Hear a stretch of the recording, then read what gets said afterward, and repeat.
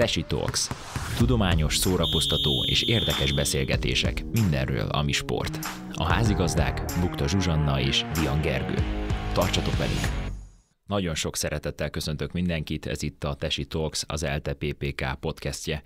A mikrofonok mögött ezúttal is Bukta Zsuzsanna és Dian Gergő. A mai témánk a sportlétesítmények helyzete 2022-ben, tehát egy nagyon aktuális topik, amiről ma beszélgetünk, és ehhez segítségünkre lesz Török Otto, Pécs város kormányzati sportberuházásért felelős polgármesteri biztos és a Nemzeti Sportközpontok egykori főigazgatója. Köszöntelek Otto.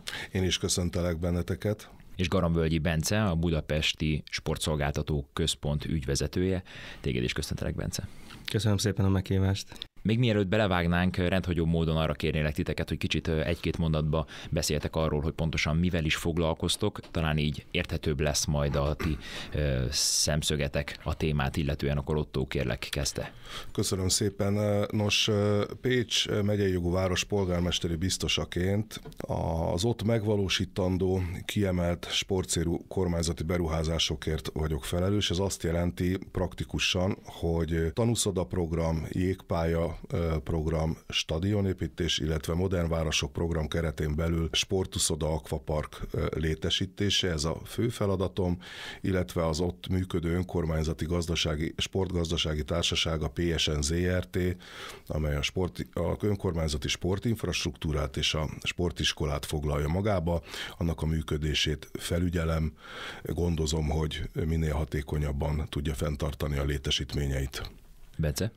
Mi a Budapesti Sportszolgáltató Központnál Budapestnek a kiemelt sportlétesítményeit üzemeltetjük, ilyen a Városligeti Műjégpálya és csónakázótó, illetve a Margit-szigeti Atlétikai Centrum és Monspart sarolta futókör, és emellett vannak kisebb ifjúsági szállóink vidéken is, és gyakorlatilag nem csak üzemeltetjük ezeket a létesítményeket, hanem tartalmat is szolgáltatunk, tehát sportszolgáltatást nyújtunk a budapesti lakosságnak, hogy csak egy példát mondjak, nem is olyan rég valósítottuk meg a Be Active Budapest Sportfesztivált, ami egy családi sportfesztivál volt, amit az Európai Sporthét keretein belül a Margit-szigeti Atlétikai Centrumban valósítottunk meg. Különösen érzékeny téma, a, amiről ma beszélgetni fogunk, hogyha Magyarországon a sport szóba jön, akkor a létesítmények az nyilván ideológiai állásponttól, politikai érzülettől és bármilyen más szempontból, ahonnan nézzük, olyanféle módon változhat. Gyakori kritika, hogy ahol kéne, ott nincs elég, létesítmény nem megfelelőek, ahol pedig nem kéne, ott pedig épülnek és újabbak és újabbak. Próbáljunk meg egy látleletet adni, hogy ma 2022-ben valójában milyen állapotban van Magyarországon a, a sportlétesítmény hálózat. Kezdjük is ezzel talán. Lényegében ez, ez az állítás ez csak részben igaz. Azt el lehet mondani, hogy létesítmény típusokként, ha megyünk, akkor mondjuk labdarúgó stadionból nyilván sokkal több van, mint amennyi kellene. De ez a probléma egyébként nem csak az elmúlt 12 év problémája, ez már 2010 előtt is fölmerült egyébként Budapest főváros vonatkozásában, amikor senki nem értette, hogy, hogy ha van egy nemzeti stadionunk, egy Puskás Ferenc stadionunk, akkor miért kell egyébként építeni minden fővárosi egyesületnek egy stadiont. Se Rómába, se más európai nagyvárosba ez nem volt divat. Tehát stadionból mindenképpen több van. Mondjuk Pécs vonatkozásában éppen azt lehet mondani, hogy mondjuk a PMFC megérdemelne egy normális létesítményt, az ő múltja és a, a jelenlegi progresszív teljesítménye véget, neki például még nincsen. Több funkciós sportcsarnokok vonatkozásában szintén azt lehet mondani, hogy túlkínálat van. Sokkal kevesebb is elég lenne. Mm, nem azért, mert nem szépek, hanem azért, mert egyébként fenntarthatatlan létesítményekről beszélünk. Az igénybevevők köre, az igénybevétel nagysága az már nem olyan, mint korábban volt itt, és nem elsősorban a sportcélú igénybevételre gondolok, hanem a fenntartáshoz szükséges egyéb kulturális bevételt jelentő eseményekre.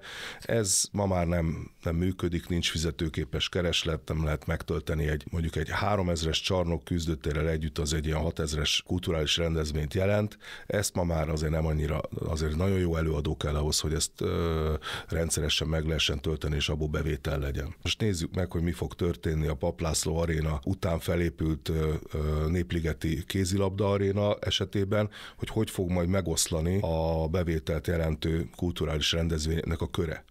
Ez majd egy mutató lesz a későbbiek során.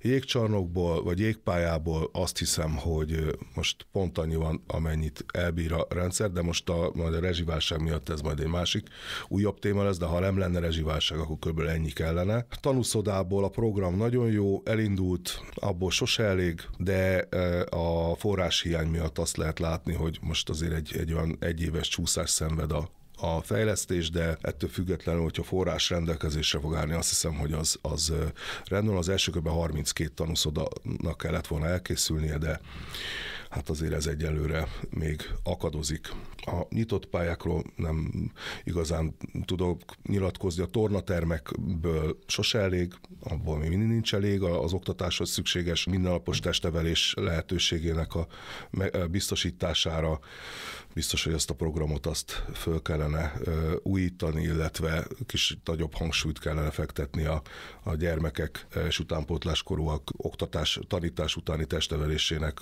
és a, és a mindennapos testevelésnek a megvalósítására. Ez még hiány szenved. Hát így most röviden dióhéjba ennyit tudni mondani, hozzátenni.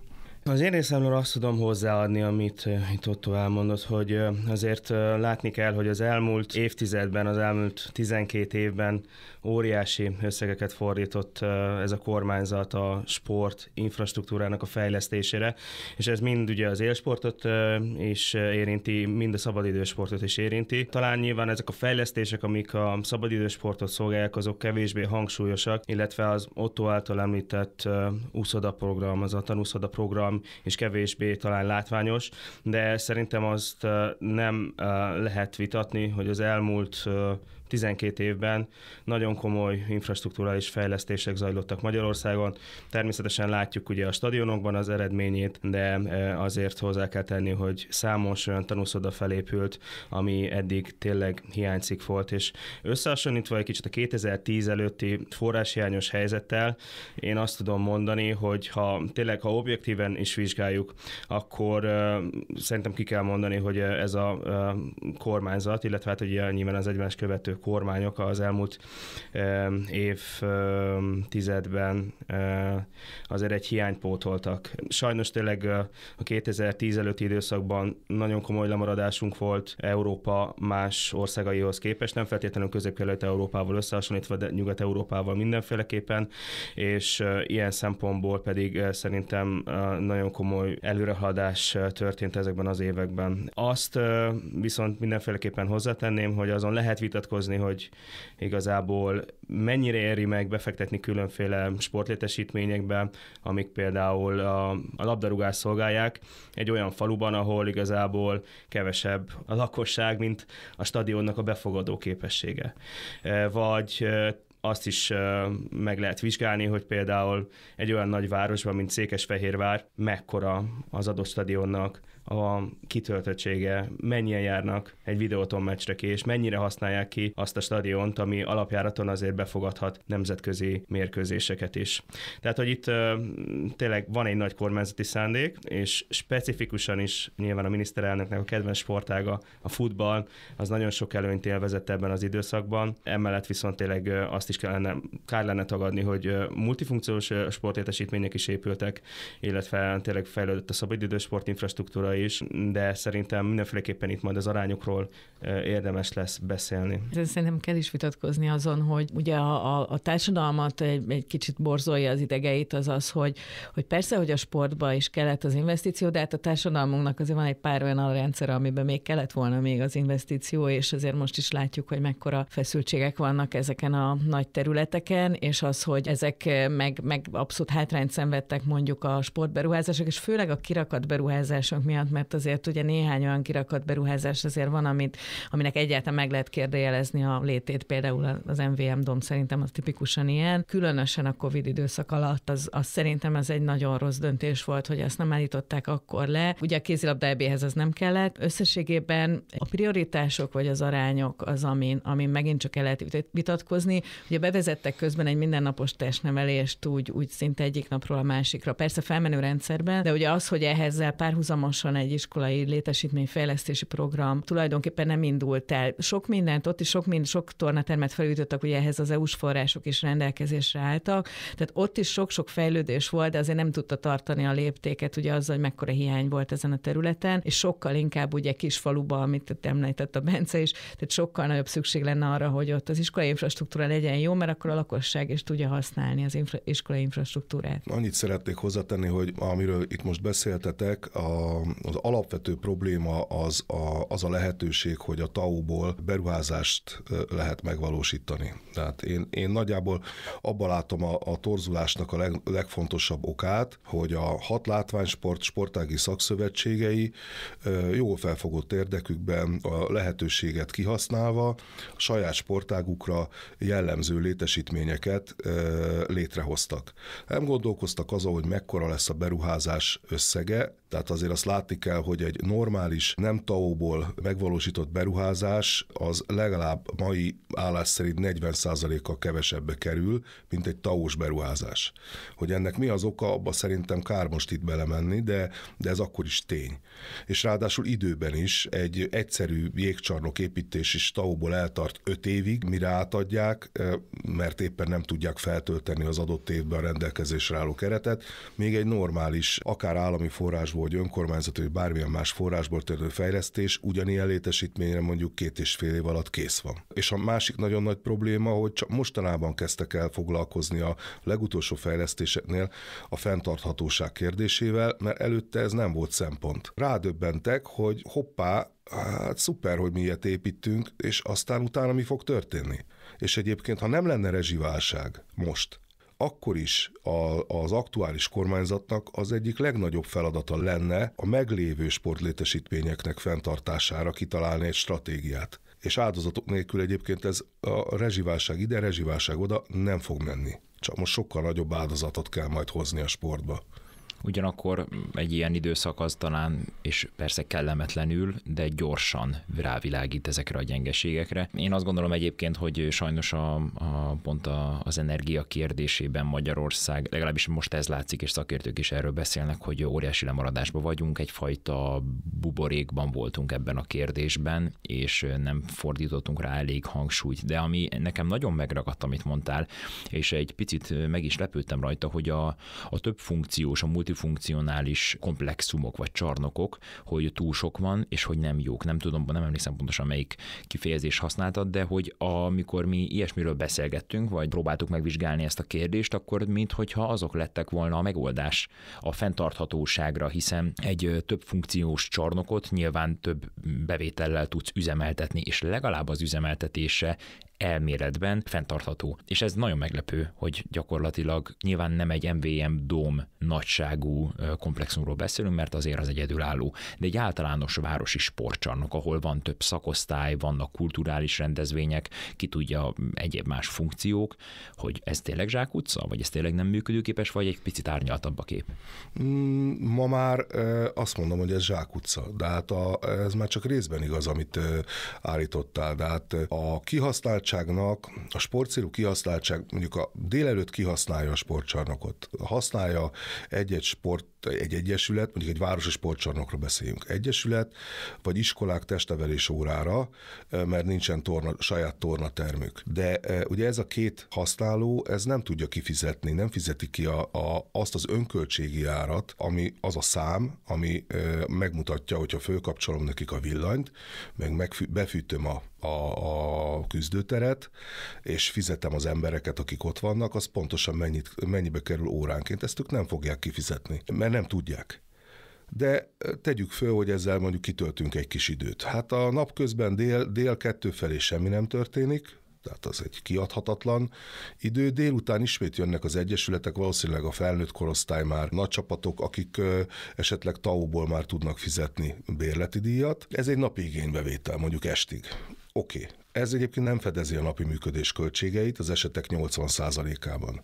Akkor nézzük a kulturális rendezvényeket. A legtöbb bevételt jelentő kulturális rendezvény korábban egy városi sportcsarnokban mondjuk a szalagavatók. De ma már az, az oktatási intézmények nem tudják kifizetni szintén azt a bérleti díjat, ami mondjuk 1 millió, másfél millió, két millió forint alkalmanként, hát nem képesek erre a dologra. Ez sem értékesíthető üzleti alapon. Akkor vannak a kulturális rendezvények, amit az előbb említettem, hogy egy sima 3000-es csarnok, ahol a koncertet szeretnél hozni, az 6000 ember, hol van az a rendezvény, ahova, melyik az az egy, a, mondjuk vidéki sportcsarnok, ahova le tudsz hívni egy olyan együttest mondjuk, vagy, vagy olyan kultúrprogramot tudsz szervezni, ami 6000 embert oda kivisz, helyi lakost. Tehát, hogyha ezzel most elkezdtek gondolkodni, akkor azért nem olyan sok van, és ráadásul nem is rendszeres. Mert lehet, hogy találtok egyet vagy kettőt, de minden évben meg nem egyet-kettőt, hanem mondjuk havonta egyet, azt nem tudod megcsinálni. És ha nem tudod megtölteni, akkor az előadótól, aki odajön, nem is tudsz annyi bérleti díjat kérni,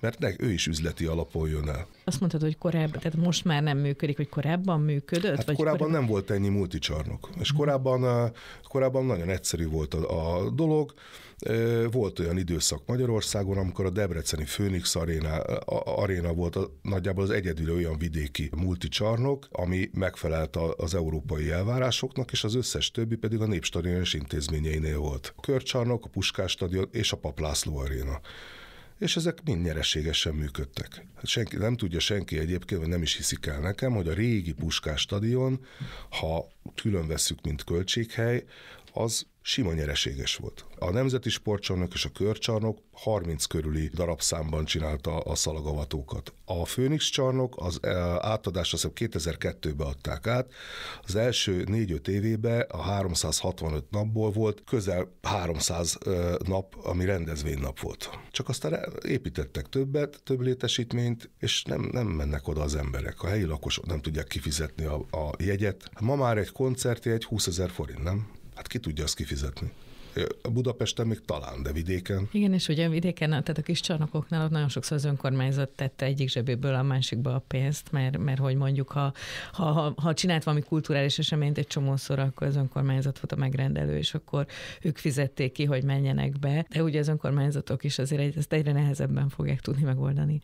Annyit szeretnék csak még hozzátenni, hogy tavaly csináltattam a, a Granit Pólussal egy megvalósíthatósági tanulmányt egyébként a modern város Városok program megvalósítása érdekében, amely egy sportcsarnok, szálloda, akvapark, versenyúszoda fejlesztést tartalmaz, és ott minden működőképes, de a, a tanulmányok szerint ö, egyedül a bulti csarnok az, ami nem javasolt, mert hogy nem lehet fenntartani, és ez egy tavalyi felmérés.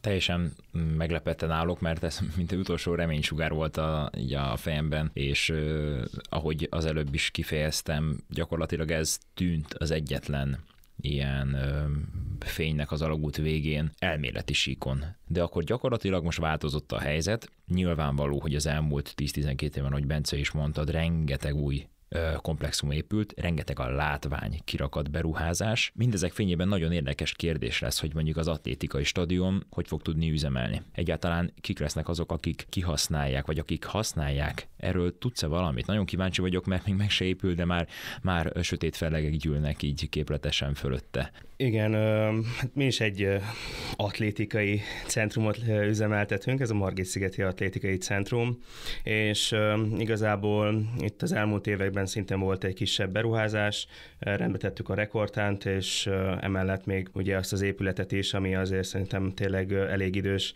talán az 50-es, 60-as években erősítettünk a szerkezetét, és emellett pedig nem is olyan rég mm, autóztam a Csepeli sportközpont felé, ami tényleg nagyon szépen emelkedik, és valószínűleg tényleg egy fantasztikus esemény lesz ez a sportszerető közönségnek ez a 2023-as atlétika VB, de én egy kicsit úgy állok ehhez, hogy hiába tényleg a sportok királynője az atlétika még mindig, ugyanakkor azt lehet látni világszinten, hogy azért alapvetően maga az érdeklődés, ami az atlétika VB-t övezi, az valószínűleg évtizedről évtizedre csökken, és ha megnézzük, hogy Magyarországon hányan atlétizálnak magas szinten, illetve hogy tényleg milyen sportkomplexumok vannak, ahol még lehet amúgy atletizálni, ott tény és való, hogy tényleg azt, még egyszer azt mondom, hogy igen, mindig van fejlesztési lehetőség, illetve ez csak politikai akarat kérdése, és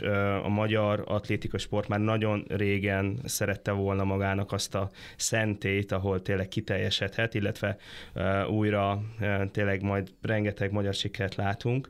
Ugyanakkor viszont tényleg az arányokról beszélve, az kérdés, hogy egyáltalán majd a jövőben mennyi atlétikai rendezvényt tudjunk ebben a stadionban szervezni, Magyarország, Budapest, a Magyar Atlétikai Szövetség, illetve hogy tényleg mennyire lesz ez a nagy közönség által kihasználva, illetve mennyire járul hozzá majd a magyar atlétikának az utánpótlásának az erősítéséhez. Nagyon sok olyan koncepció került az asztalra, ami azt próbálja bizonyítani, hogy ez a stadion fenntartható. Elvileg ugye vissza lesz bontva a VB után után, de javítsatok ki, hogyha nem, és egy kisebb kapacitással akár több nemzetközi versenyt is, ami nem olyan nagyszabású, mint az atlétika VB, és majd be tud fogadni. Illetve nyilván itt a koncepcióban azért tényleg az is benne volt, hogy minél fenntarthatóbb, illetve energiahatékonyabb létesítményt hozzanak létre. Nagyon remélem, hogy ez egy tényleg egy jó példa lesz, de igazából most jelen állás szerint én azt tudom mondani, hogy ez is egy olyan elképzelésnek a megvalósulása, amely azt hivatott erősíteni, hogy Magyarország egykor majd egy olimpiát, egy nyári olimpiát szervezzen, és igazából gyakorlatilag ez az egyik olyan nagy utolsó beruházás, ami igazából még talán hiányzott. Nyilván vannak más beruházások is, de hogy már igazából azt lehet látni, hogy a 2024-re vizionált budapesti olimpiának, nyári olimpiának a helyszínei többé-kevésbé felépültek. Hogy lesz-e olimpia Magyarországon, ez egy érdekes kérdés én nem jó tudnám ezt megjósolni, de egyrészt tényleg összefoglalva valószínűleg tényleg a magyar atlétikának nagyon nagy ajándék ez a stadion, de megint visszatérve a fenntarthatósági kérdésekre, nem tudom, hogy a magyar adófizetőknek, illetve a magyar államnak, illetve a jövőbeni fenntartónak ez egy jó befektetés volt-e, ezt majd talán tíz év múlva tudjuk megmondani. Hát most minden arra mutat, hogy, hogy, hogy, hogy nem.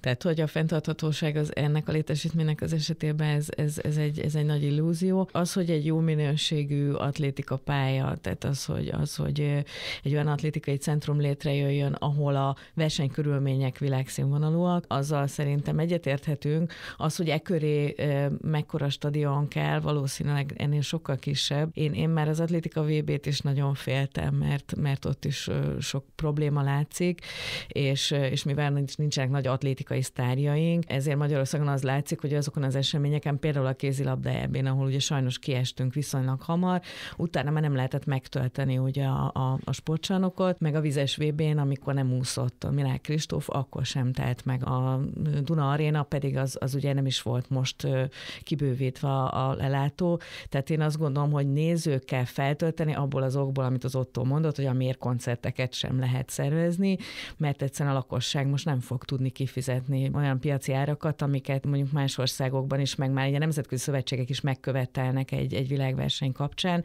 Egyszerűen nézőket nagyon-nagyon nehéz lesz majd most bevinni. Szerintem maga az atlétika VB az, az egy remek esemény lesz, mint olyan. Én alig várom, tehát én, én, én meg, meg, meg, azt, azt gondolom, hogy ott, ott valahogy úgy, úgy, úgy mindig lehet egy, egy, egy hype-ot úgy, úgy köré rakni, és azért Ez olyan, csak mint a, olyan, mint a 2017-es vizes VB, mert ugye az is a, hiába mondjuk azt, hogy tényleg horror pénzbe került, én benne voltam a szervezőbizottságban, tehát iszonyatos pénz pénzt emésztett föl, de, de ha szívemre teszem a kezem, az a fajta uh, rendezvénytípus, beleértve, hogy a műjégpályát használták a szinkronúszásra, az egy remek rendezvény volt. Most én ugyanezt gondolom az atlétika VB-ről is, hogy rendezünk egy ilyen nemes versenyt, ez egyszeri alkalomként ez egy csodálatos dolog lesz. Most a, az atlétika stadionhoz annyit fűznék hozzá, egy nagyon kedves barátom tervezte egyébként, és uh, próbált arra ügyelni, a fel, hát fenntartatóság szóba se jöhetett, de hogy energiahatékony üzemeltetés. Igaz az, hogy vissza fogják bontani, visszabontható lesz a lelátó, de azt hiszem tízezer főig, de az is sok. De hát az ember megnézi az Eurosporton a, a Golden League, meg egyéb más atlétika versenyeket, egyébként tízezresé nagyobb stadionban nem is csinálják. Vagy az ÖVB, amit 15 ezeres stadionban, az USA-ban az atlétika Igen. szülőhely, szülőhely. Igen, és hogyha nincs nagy kivetítőd, és nincs elég jó catering, akkor, akkor a 100, 100 méteres síkfutás és a 110 gáton kívül olyan nagyon sok dolog nem vonz, szóval ez egy nehéz dolog. Ami könnyíti a fenntartást, az két dolog. Az egyrészt, hogy ez az atlétika stadion ez egy nyitott létesítmény, de hát, hogyha gondolok egyet, akkor mondjuk bezárják a kaput. És olyan nagy energia felhasználása egy zárt létesítményhez képest nincs. A másik az, hogy ahogy a Bence is említette, hogy, hogyha a szabadidősportnak és a lakosságnak átadják a létesítményt a szabad használatra, vagy legalábbis komoly idősávokban, az egy megoldás lehet és az is biztos, hogy a Budapest 2024 olimpiai kandidációnak eleme volt az, hogy külön labdarúgó aréna és, és külön atlétika stadion kerüljön megépítésre. Ugye ennek mesdjéjén lett ez a választás, mert egyébként nyugodtan megtehették volna az új Puskás stadionban, mint a régi népstadionban, hogy van futókör, csak éppen a lelátókat akkor vissza lehet tolni, és akkor futókör van, mert erre vannak műszaki megoldások, és hogyha labdarúgó arénaként használom, akkor még még elő előre tolok négy sort, és akkor nincs futókör. Tehát azért ezek, ezek működőképes dolgok, de nem ez a döntés született, hanem hogy kifejezetten egy labdarúgó arénát építünk, ami egyébként egy csodálatos létesítmény, csak nagyon sok pénzbe került. Ezek mind kicsit, mintha egy ilyen vágyvezérelt gondolkodásnak az eredményei lennének, és persze szükséges, hogy legyenek vágyak és célok ilyen formában, meg vízió, csak amikor ekkora beruházásokról van szó, akkor nekem, mint laikus, vagy legalábbis olyas valakinek, aki nem lát bele ilyen mértékben, adódik a kérdés, hogy ezt nem volt senki, aki végig gondolta, hogy valószínűleg volt, csak nagyobb volt a, akár a lobbyerő, akár a erősebb volt maga a vágy.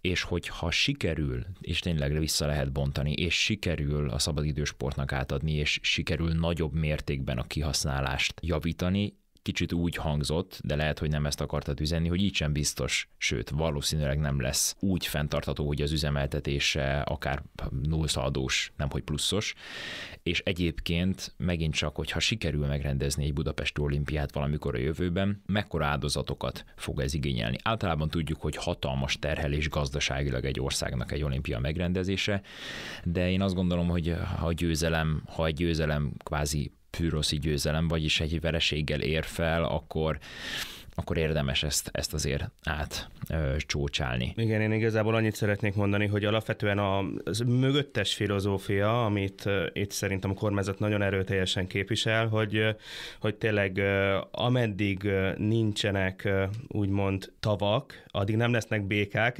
Ez a miniszterelnök az egyik hasonlat, ez főleg ugye a futballstadionok tekintetében alkalmazta, és ez egy nagyon erős kormányzati gondolat, hogy ameddig nincs megfelelő infrastruktúra, akkor nem is fejlődhet ugye maga a magyar sport, mind a szabadidősport, mind az élsport, tehát hogy igazából ez egy nagyon erőteljes filozófia, ami mögött van, egy erőteljes politikai szándék, és ebből a szempontból pedig igazából ezt lehet vitatni, hogy tényleg valid politikai szándéke, illetve hogy tényleg mik a társadalmi prioritások. Az elmúlt évtizedben ez látszódott, hogy igen, ezt a kormányzat nagyon erőteljesen meg akarja valósítani, beleértve a nagy álmot, a budapesti olimpiát.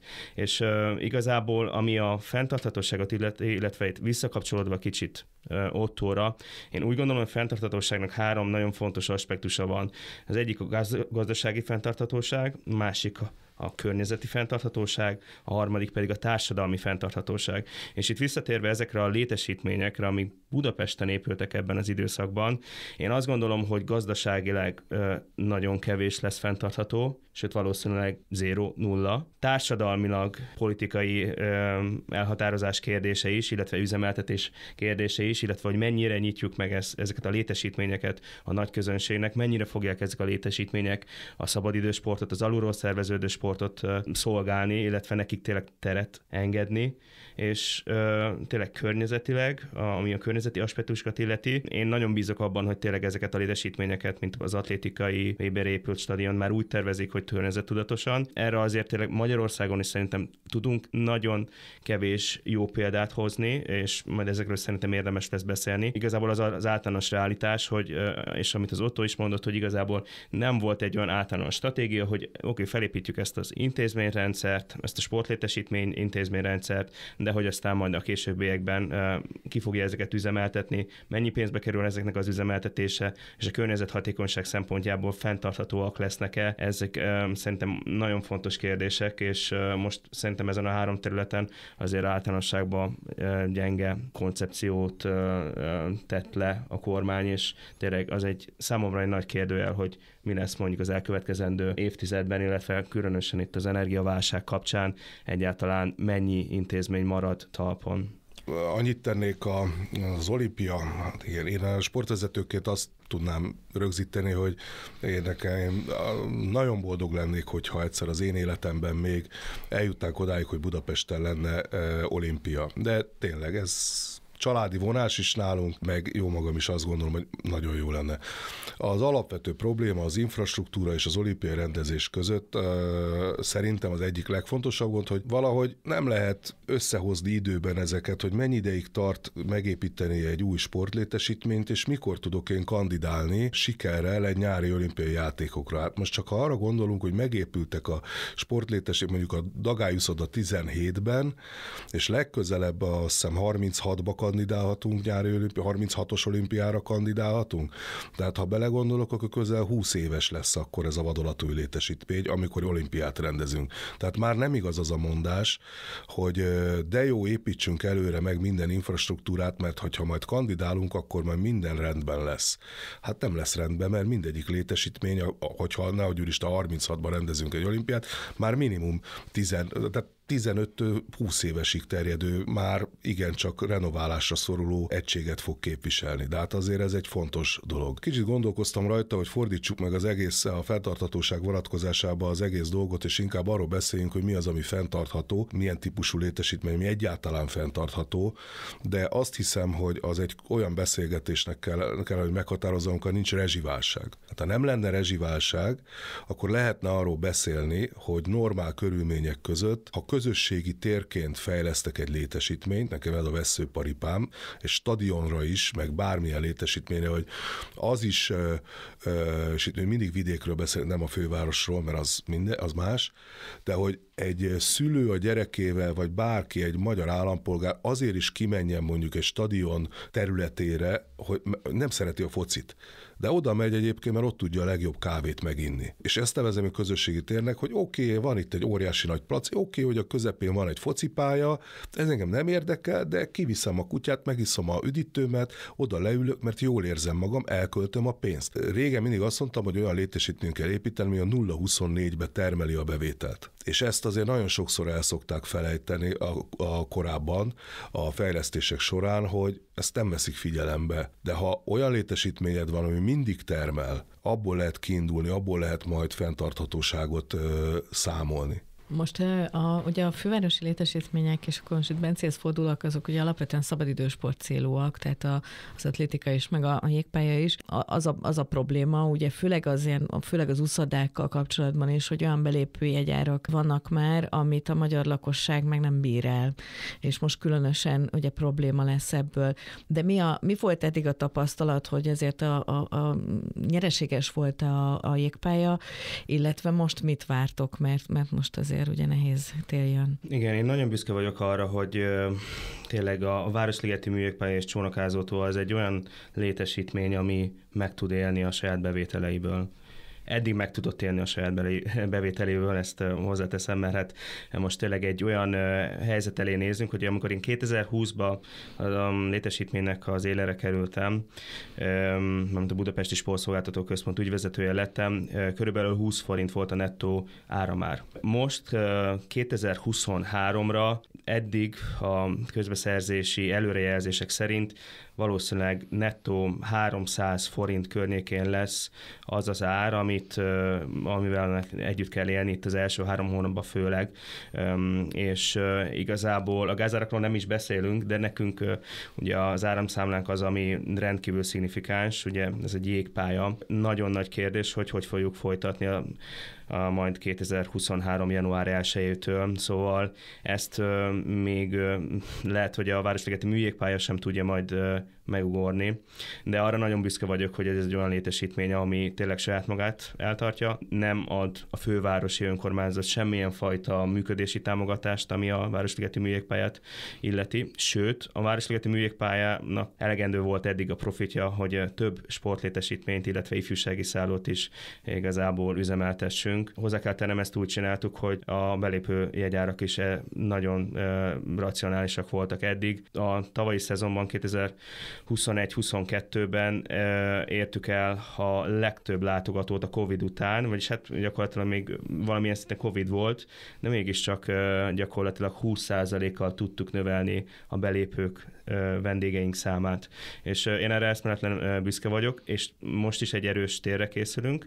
Ugyanakkor 2023. január 1-től nem tudom, hogy igazából, hogyha még emeljük is a belépőjegy árainkat, akkor ki tudjuk-e gazdálkodni azt az óriási energiaszámlát, ami majd meg fog érkezni januárban. Szóval nagyon komoly kihívásokkal szembesülünk. Fővárosi segítség nélkül valószínűleg ezt nem fogjuk tudni megoldani, és előfordulhat az, hogy egy rövidített szezont kell megvalósítanunk, és lehet, hogy januárban be kell zárni a műjégpályát, amit őszintén szerintem mindenki sajnálna. És még egy gondolat így a társadalmi felelősségvállalásról. Ebben az évben is számos budapesti hátrányos helyzetű fiatalnak fogunk lehetőséget teremteni, hogy megtanuljon korcsolyázni. Egy iskolaprogramot is indítunk, amelynek a keretein belül több száz budapesti iskolásnak teremtünk majd lehetőséget arra, hogy ingyen megtanuljon korcsolyázni, ingyen részt vegyen oktatásban, és így próbáljuk kitölteni azokat a kevésbé forgalmas időszakokat is, amit az októ is említett, hogy azért délelőtt, meg kora délután azért tényleg kevesebben jönnek egy ilyen fantasztikus fantasztikus létesítménybe is. Ha a Covid-ot vesszük alapul, amelyik szektorokat a Covid igazán sújtotta, akár mondjuk a vendéglátóipar, ott ugye rengeteg munkaerő áramlott ki, és utána kevéssé állt helyre ez az állapot. Elképesztő sok volt még a, a, a betöltetlen pozíció különböző vendéglátóipari egységekben. Hogyha mondjuk azt feltételezzük, hogy a mostani gazdasági helyzet szintén sújtani fogja a sport területét, akár a létesítményeket, és tehát amit említettél, ez felfoghatatlan különbség. Tehát 20-ról 300, ez, ez gyakorlatilag lakosság emberi épésszel nehezen felfogható. És ugye ami nagyon nehéz, hogy nem csak a, a létesítményeket sújtja, hanem a civil lakosságot is, kvázi a felhasználókat ez a helyzet. Mi a a várakozásotok vagy predikciótok erre az időszakra vonatkozóan olyan szempontból, hogy ez egy olyan periódus lesz, ahol túl lehet élni, csak nagyon nehezen, veszítve az ügyfeleket, vagy a, a, a felhasználókat nevezük akárhogy, vagy pedig lesznek olyan létesítmények, aki, amelyik csődbe mennek, tehát amiknek a, a működtetés egyszerűen nem valósulhat meg, és ők bezárnak, vagy realitás az, hogy kormányzati, vagy fővárosi, vagy önkormányzati támogatással sikerül átvészelni. Mi a ti várakozásotok ezzel kapcsolatban? Mert azt gondolom, hogy ez most az élet minden területén talán ez foglalkoztatja a legjobban az embereket. Azt tudom mondani, hogy a kormányzat azért ismeri ezt a problémát, és a megoldáson dolgozik. A első körben a vízfelületek vonatkozásában összeállt egy szakmai stába, úszó vízilabda, műúszó, műugró ö, szövetség képviselőivel, akik tettek egy szakmai javaslatot a, a, az államtitkárság, sportállamtitkárság felé, azon vízfelületek vonatkozásában, amelyeknél a kormányzati szerepvállalás az üzemeltetésnél sportszakmai szempontból elengedhetetlen. Most nem az én dolgom ezt e, nagyjából elmondani, de azért ez egy közel 70 országos viszonyban közel 70 vízfelületet, úszodát érint, ahol a kormányzati szerepvállalása megemelkedett rezsiköltségek vonatkozásában prognosztizálható. Nyilvánvalóan kell egy pénzügyminisztériumi döntés majd hozzá, de a, az államtitkárság ilyen értelemben ezt a, az előterjesztést, ezt az intézkedést, ezt meg fogja tenni. Pécsen például össze kellett állítanom egy, egy programot a polgármester felé, egy bezárás, sajnos egy bezárási programot, amely azt prognosztizálja, hogy amennyiben a, a nem történik kormányzati beavatkozás, hiszen az önkormányzatoknak belértve a fővárost is egyébként nagyon sok többletforrása a többletrezsire, annak a finanszírozás megoldására nincs, tehát biztos, hogy egyfajta sérülés fogja érni ezeket a, a létesítményeket. Az nem nagyon segít, hogy, hogy lecsökkentjük a, a hőmérsékletet a sportcsarnokban, meg az egy ilyen időleges megoldás, meg az uszodáknál nem működteted a keringtető szivattyút éjszakánként, közben figyeled a vízminőséget, stb. stb. Ez nem oldja meg ezt a tízszeres költséget, de hát biztos, hogy be kell zárni létesítményt. A legtöbb esetben a sportágak ezt túl fogják élni, azt én, én azt gondolom, túl fogják élni. Minden sportági szaksz, érintett szakszövetség érdeke az, hogy átcsoportosításokkal, mindenféle segítséggel életbe tartsák a sportágokat, de lesz olyan sportág, mint például a tornasport, most mondok egy, egy exakt példát, ahol ha bezárnak egy tornacsarnokot, mert nem tudják kifűteni, abban a városban nem lesz torna mert az egy olyan, olyan épület, a, olyan terem, ami szertornára van berendezve, másra nem alkalmas. De hát ilyen veszély van. Az alapsportágaknál nem gondolom, hogy, hogy túlfélgen nagyon nehéz lesz, áldozatok is lesznek, de, de szerintem meg fog oldódni ez a probléma. Én nem aggódok az élsport miatt, szerintem ezt meg fogja oldani a kormányzat, ahogy a Covid alatt is megoldotta, hogy, hogy Budapesten legyen egy vízilabda BL, ahol gyakorlatilag sehol máshol nem lehetett sportoló világban ilyen keretek rendszerben. Őszintén, ami miatt én hatványozottan kifejezetten aggódok, az a magyar lakosságnak a sportolási helyzete, a szabadidősport, a lakossági sport, vagy alulról szerveződő sport, bárhogy is mondjuk. Egyrésztől a Covid ez egy óriási csapás volt már, és tényleg a bezártság, az, hogy tényleg gyakorlatilag az emberek valamilyen szinten elszoktak a testmozgástól, és óriási ereje van a testmozgásnak, ami a mentális egészséget is illeti, és óriási szerepe van a testmozgásnak ebből a szempontból, de hogy a legutóbbi uniós felmérés is azt mutatta, hogy komolyan visszaestek a fizikai aktivitási ráták Európában, nem csak Magyarországon, és gyakorlatilag ami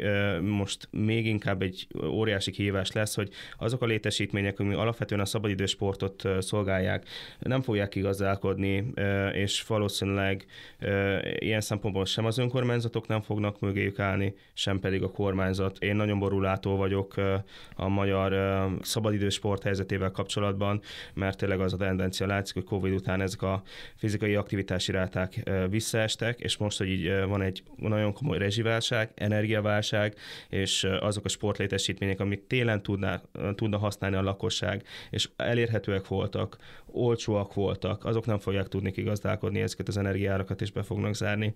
Nagyon aggódok, hogy ez a tendencia, ami a Covid alatt elkezdődött, ez tovább fog erősödni.